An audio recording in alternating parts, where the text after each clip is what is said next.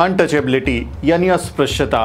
यानी किसी के शरीर को अपने शरीर से टच ना होने देना और किसी के शरीर को हाथ भी नहीं लगाना। ये अनटचेबिलिटी की प्रैक्टिस जो है वो भारत में सदियों से चलती रही है, बहुत लंबे वक्त तक यहाँ तक चलती रही है। इसे आम बोलचाल की भाषा में अछूत भी कहा गया, जिस जो अनटचेबल्स बने, उनको अछूत कहा गया। लेकिन क्या आप जानते हैं कि आज भी भारत में बहुत सारी जगह पर अनटचेबिलिटी की जो प्रैक्टिस है, जो प्रथा है, उसको फॉलो किया जाता है, उसको अपनाया जाता है और गाँव देहात दूर दराज के इलाकों में छुटपुट छोटी छोटी जगहों में नहीं यूनिवर्सिटी कैंपसेस में इस तरह की अनटचेबिलिटी के केसेस सामने आए हैं। आज एक ताज़ा मामला सामने आया पश्चिम बंगाल की एक यूनिवर्सिटी से, जहाँ एक छात्र ने आरोप लगाया कि उसके टीचर ने उसके साथ अनटचेबिलिटी की है और उसको छूने से भी मना कर दिया। विश्व भारती यूनिवर्सिटी है पश्चिम बंगाल की। वहाँ के एक छात्र हैं सोमनाथ शो। उन्होंने आरोप लगाया है अपने प्रोफेसर पर, जिसका नाम है सुमित बासु। जो प्रोफेसर हैं, उन पर उन्होंने आरोप लगाया है कि उन्होंने उनके साथ अनटचेबिलिटी की और उनसे ये तक कह दिया कि मैं तुम्हारे जैसे लोगों से, दलित लोगों से बात नहीं करता क्योंकि तुम लोग अपवित्र होते हो इम्प्योर होते हो और मैं तुमसे बात करूँगा तो मेरा धर्म भ्रष्ट हो जाएगा, मेरा स्टैंडर्ड ख़त्म हो जाएगा, ख़राब हो जाएगा, इसलिए मैं तुम्हारे साथ बात भी नहीं कर सकता। ये आरोप लगाया है सोमनाथ शो नाम के स्टूडेंट ने।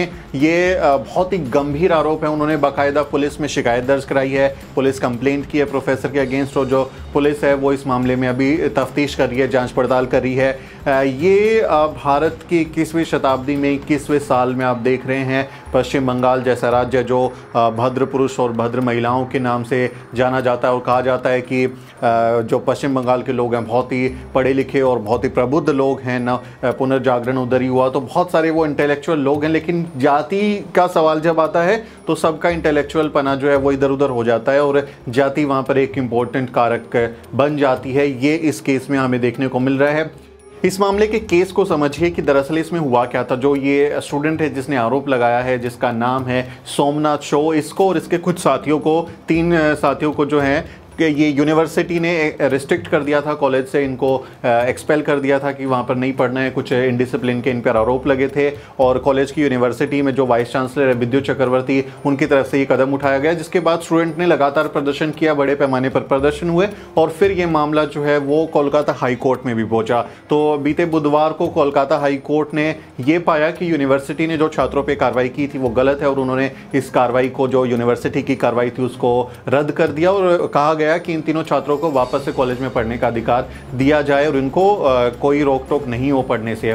अभी ये छात्र का ये कहना है सोमनाथ का कि जब मैं कॉलेज गया कैंपस गया तो कैंटीन में बाई चांस मुझे वहाँ पर जो प्रोफेसर हैं, सुमित बासु, वो मुझे मिल गए और वो मुझे देखकर जो है, जब मैंने बात करने की कोशिश की तो उन्होंने ये कहा कि मैं तुम्हारे जैसे लोगों से बात तक करना पसंद नहीं करता, तुम दलित हो और अगर मैंने तुमसे बात की तो अपवित्र हो जाऊँगा धर्म भ्रष्ट हो जाऊँगा, तुम लोग और लोग हो। ये उसने कहा है सोमनाथ ने और ये अब इसमें ये कुछ ये लोग कहें कि भाई, क्योंकि उस पर कार्रवाई हुई थी तो बदले की कार्रवाई हो सकती है, लेकिन आप ये देखिए कि क्योंकि हाई कोर्ट ने तो वो उनकी कार्रवाई को गलत पाया है यूनिवर्सिटी की और उसको बहाल कर दिया है तो ये फिर ऐसा करने की ज़रूरत क्या थी? हालाँकि ये मैटर ऑफ़ इन्वेस्टिगेशन है, पुलिस इस मामले की जाँच करे, लेकिन कुल मिलाकर ये बताता है कि किस तरह से अनटचेबिलिटी जो है, अस्पृश्यता जो कि भारत के संविधान ने, भारत में कानून में ये इसको अवैध घोषित किया है। अब फ़िज़िकल अनटचेबिलिटी ना होकर एक तरीके की मेंटल अनटचेबिलिटी हमें इस तरह के मामलों में देखने को मिलती है। और खासकर यूनिवर्सिटी कैंपसेस में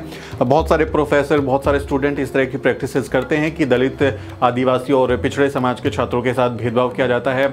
आपको याद होगा अभी आ, आ, कुछ दिन पहले आईआईटी खड़गपुर का एक वीडियो जो है ऑनलाइन क्लास का वीडियो वायरल हुआ था जिसमें प्रोफेसर सीमा सिंह जो हैं वो दलित छात्रों की क्लास में उनको बास्टर्ड कह रही थी। बास्टर्ड जैसी गालियाँ उनको दे रही थी उनके बारे में बहुत बुरा भला कहा और ये कहा कि तुम्हारे माँ बाप ऐसा सिखाते हैं, ये करते हैं, वो करते हैं। और लिटरली उसने गाली दी थी ये आईआईटी खड़गपुर, जो कि एक प्रीमियम इंस्टीट्यूशन है भारत का। वहाँ पर दलित छात्रों के साथ में, क्योंकि जो वो क्लास थी, वो सिर्फ़ एक्सक्लूसिवली एस सी स्टूडेंट्स के लिए थी, उनके कुछ स्किल डेवलपमेंट के लिए और लिटरेचर और लैंग्वेज को जो है उसमें बढ़ावा देने के लिए वो एक्सक्लूसिव क्लास होने के लिए थी। तो कोई भी उसमें दूसरा छात्र नहीं था, उन्होंने गाली दी थी। क्या कहा था? एक बार वो सुनिए आप।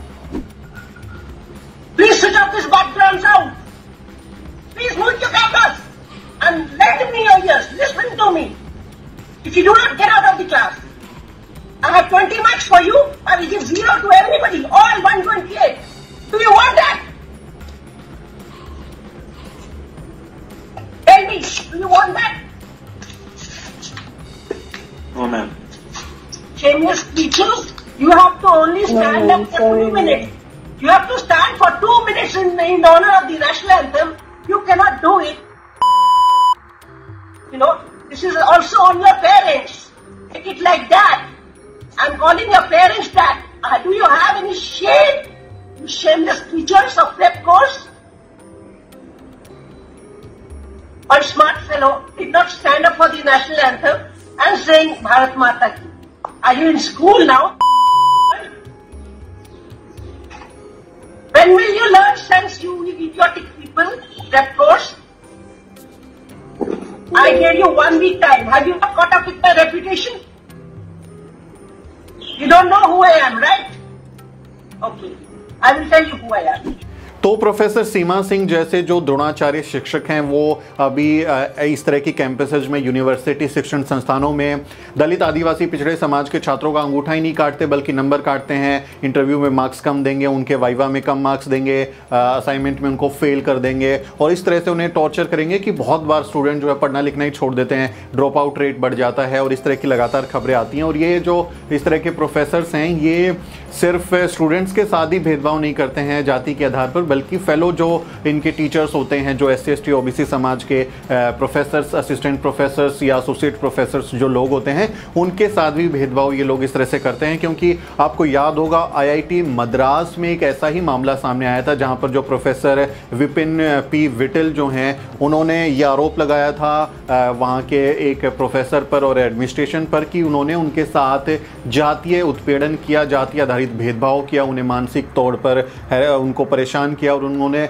इतना हैरेसमेंट झेला कि उन्होंने अपनी परमानेंट जॉब से इस्तीफा दे दिया, वो परमानेंट पोजीशन पे थे, उन्होंने इस्तीफा दे दिया, उनके बहुत सारी उन्होंने चिट्ठियाँ भी लिखी इस बारे में और मेरी भी अभी उनसे बात हुई थी पिछले दिनों तो वो इस बात को लेकर बेहद तनाव में थे इस बात को। उन्होंने बताया कि जब वो कॉलेज जाते थे और वही लोग उनके सामने आते थे और वो उस तरह की कास्लर और वो उस तरह की चीज़ इस्तेमाल करते थे तो वो उनका एक तरीके से बहुत ज़्यादा वो डिप्रेशन में उस समय पर चले गए थे। तो उन्होंने इस्तीफा तक दे दिया अपनी पोस्ट से, जो कि परमानेंट पोस्ट सोचिए, एक लाख रुपए से ज़्यादा सैलरी होती है, कितनी सुविधाएँ होती है, उस पोस्ट से उन्होंने कास्ट डिस्क्रिमिनेशन की वजह से ये इस्तीफा दे दिया था। और प्रोफेसर विपिन जो हैं, वो ओबीसी जाति से आते हैं तो ये जो भ्रम पाल लेते हैं कि ये तो अनटचेबिलिटी एस सी के साथ होती है, ये ओबीसी के साथ भी होती है, क्योंकि वो जातिवादी मानसिकता के लोग आपको भी उसी कैटेगरी में ओबीसी समाज को एस सी को एक ही तरह से एक ही श्रेणी में रखते हैं और इस तरह का भेदभाव करते हैं। तो ये लगातार शिक्षण संस्थानों में, भारत में इस तरह की अनटचेबिलिटी प्रैक्टिस हो रही है लगातार इस तरह की खबरें सामने आती हैं बार बार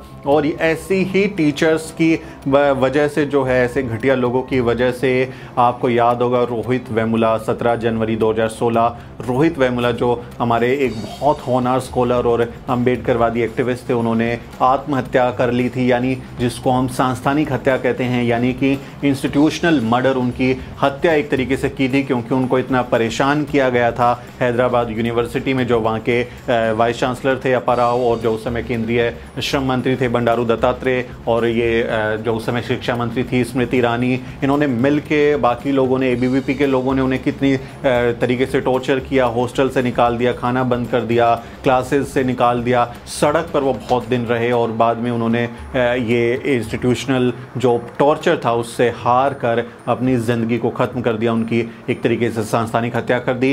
रोहित वेमुला से जुड़ी हुई एक वीडियो आज सामने आई है, ये जो वीडियो आप अपनी स्क्रीन पर देख रहे हैं, ये दरअसल हैदराबाद यूनिवर्सिटी में जो दीक्षांत समारोह है, उसकी वीडियो है और यहाँ पर एक स्कॉलर हैं, डॉक्टर सुनकन्ना वेलुपुला।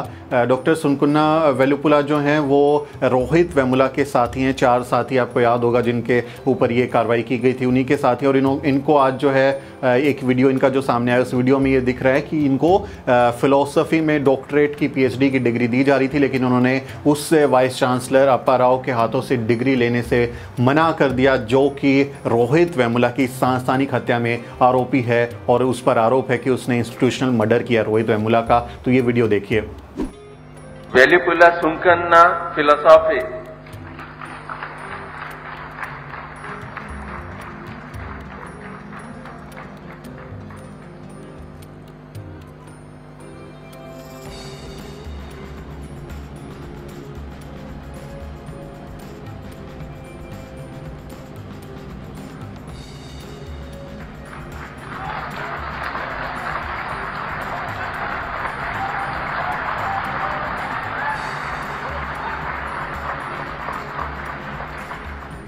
तो डॉक्टर वेलुपुला को भी हम सलाम करते हैं क्योंकि इतना बड़ा ये फैसला लेना कोई छोटी मोटी बात नहीं है। अपनी जो पूरी एकेडमिक जो वैल्यू है, जितना रिसर्च है, उस पीएचडी की डिग्री को वाइस चांसलर के ऐसे वाइस चांसलर जो कि आरोपी हैं, उनके एक साथी के इंस्टीट्यूशनल मर्डर का, उससे डिनाई कर देना और उससे डिग्री नहीं लेना है बहुत बड़ी बात है। क्योंकि एकेडमिक जगत में भी उनको इसका नुकसान हो सकता है, हो सकता है बहुत सारे लोग उनसे जो वाइस चांसलर हैं, वो आपस में एक दूसरे को जानते हैं और वो कहीं पर अगर उसे जॉब मिले, नौकरी मिले तो वो उसका नाम वहाँ से कटवा दे और कहे कि इसको नौकरी मत दो। इस तरह के जोखिम होते हैं अकेडमिक जो करियर होता है, और और भी बहुत सारे जोखिम होते हैं, लेकिन उन्होंने वेलपुला ने फिर भी ये फैसला लिया और अपने दोस्त रोहित वेमुला को एक तरीके की ये श्रद्धांजलि है कि उस हत्यारे के एक आरोपी वाइस चांसलर से उन्होंने ये डिग्री नहीं ली तो हम उसके लिए वेलुपुला को सलाम करते हैं, अभिनंदन उनका करते हैं। तो ये आज की कुछ ज़रूरी खबरें थी, मुझे लगा कि आपको इसको जानना चाहिए और ये बहुत ज़रूरी है। और हमारे जो साथी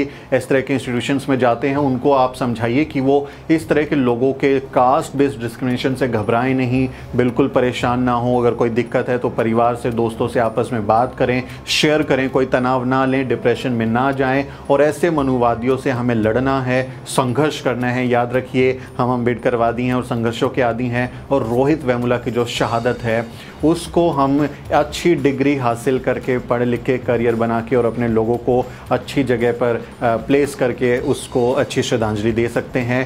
आप उनसे हिम्मत लीजिए, उनसे प्रेरणा लीजिए और ये कहिए कि हमें इस तरह के इंस्टीट्यूशनल जो टॉर्चर है, जो कास्ट बेस्ड डिस्क्रिमिनेशन है, जो वहाँ के द्रोणाचार्य लोग हैं, उनके सामने हार नहीं माननी है और अपने लोगों को मज़बूत बना के जातिवादियों के साथ मुकाबला करना है। तो ये था आज का खास एक वीडियो आपको अच्छा लगा हो तो इसे लाइक और शेयर ज़रूर करें और साथ ही हमारे चैनल को भी ज़रूर सब्सक्राइब करें। साथियों, मेरा नाम सुमित चौहान है और इस वीडियो को बनाने में मेरी मदद कर रही है मेरी सहयोगी अजरा परवीन। अगले वीडियो में मिलते हैं साथियों।